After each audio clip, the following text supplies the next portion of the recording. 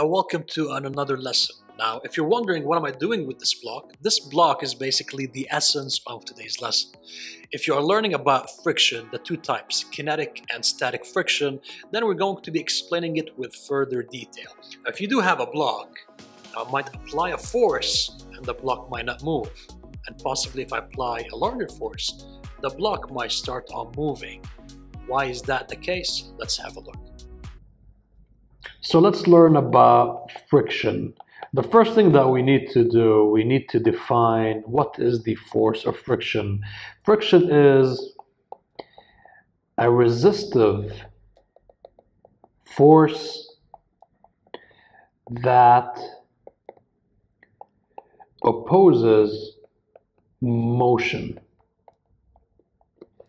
If you do have a box, the famous box, and you apply a force F, this box will be witnessing frictional force between the surface of the box and the actual surface that it's in contact with.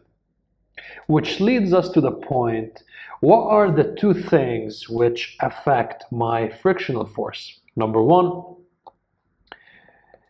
the nature of the surface or the material. If we have wood, if we have rubber, if we have wool, we have ice, we have water, all of them are considered to be different surfaces and they are going to exhibit a different frictional behavior. And this is represented by the letter mu, which stands for the coefficient of friction this coefficient of friction is basically um, an experimental value based on the various test subjects that you have, whether you're going to be using wood, um, a metal surface, uh, concrete, whatever it is. You're going to be testing those surfaces and you're going to create a table and it's created already, a tabulated version where you have the coefficient of friction clearly indicated for the various types of materials. So the first thing that affects the force of friction is basically your surface. The second thing which affects the force of friction, it is the normal force. Friction force is directly related to the normal force, to the normal force. If you take a look at the box again, the box has the weight acting on it, pulling it downwards. This is the force of gravity equals to mg, which is mass, multiplied by the acceleration of gravity, which is 9.81. Now we're going to expect a reactive force from the surface, which is the normal force, which is given by the letter n. There is a direct relationship between the frictional force and the normal force. It makes perfect sense. Think about it this way. The harder you press on the object, the more contact is going to be having with the surface which was going to lead to more resistive motion as you're trying to move this box across the surface. It makes perfect sense. So these are the two things that affect my frictional force. Now, what we're going to be doing right now, we're going to write down the two types of frictional forces. So friction could be broken down to two main types. Number one, I have my kinetic friction and the second type, I have the static friction. Now, the kinetic friction, from the word kinetic, it means movement is involved. Static, no motion, from the word static, standing still. So these are the two types of friction or types of frictional forces that we may experience in our lives. So let's start off with the kinetic friction. Kinetic friction is the frictional force an object, let's say back to the box, the object witnesses as it moves across a surface. So if I have a force F and the object is moving now with a certain velocity, it's going to experience a frictional force, kinetic friction, given by the letter, let's say F and small subscript k, which is going to oppose my motion during the duration of the movement.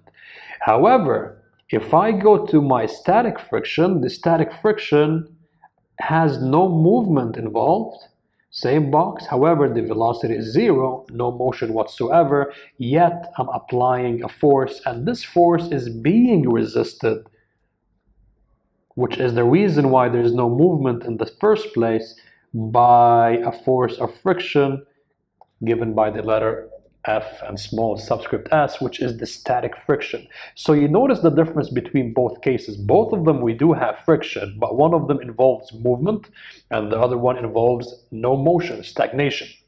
So how do we go about calculating the force of friction? Let's start off with the kinetic friction. Like we have said, the kinetic friction involves movement and all of the frictional types both of them the static and the kinetic they depend on two things. The nature of the surface the material which is represented by mu k the coefficient of kinetic friction. It's a side note the coefficient for the static friction and the kinetic friction they are different even though they are from the same material it's important to keep this in mind. And the normal force so if I want to calculate my kinetic friction, this is the kinetic friction. This is the coefficient of kinetic friction and this is the normal force. And we're going to apply the same logic for the static friction. However, because the object is static, it's not moving, we have to set a limit. And we do so by saying less than or equal to than mu s, which is the coefficient of static friction multiplied by the normal force. Why do we put less than or equal to? Because my box is not moving and the force that we're applying is being resisted by this static friction. So it gets to a point, if we cross this number, this total number, we cross this amount or we cross this force, my object will start to move. So as long as we are exactly equal to it or less than this number, which is the force of static friction, we're going to be stagnation stagnation mode. We're not going to be moving. We're just simply going to resist the applied force. But once you go beyond this number, once you go beyond your static friction, you go more than mu s multiplied by n, you will tra be transitioning to the kinetic friction. So as you can see, this is the static friction, and this is the coefficient of static friction and this is again the normal force.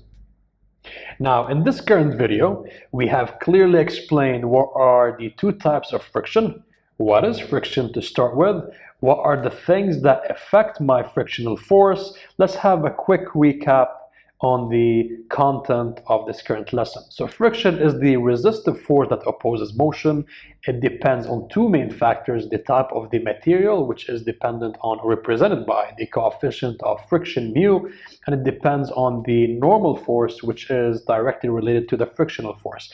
Then we said we have two types of friction. We have the kinetic friction, which is dependent on the movement, and we have the static friction where we have no movement at all both of them they still obey the two uh, norms that the, the normal force is necessary to calculate the friction and the coefficient of friction is used as well as a representation of the surface in which the friction is taking place. However, the kinetic friction involves movement.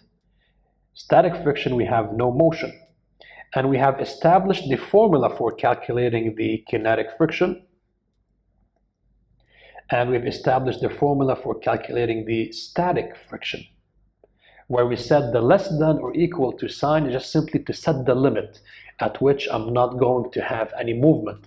If I cross that limit, then I'm going to be transitioning to the kinetic friction.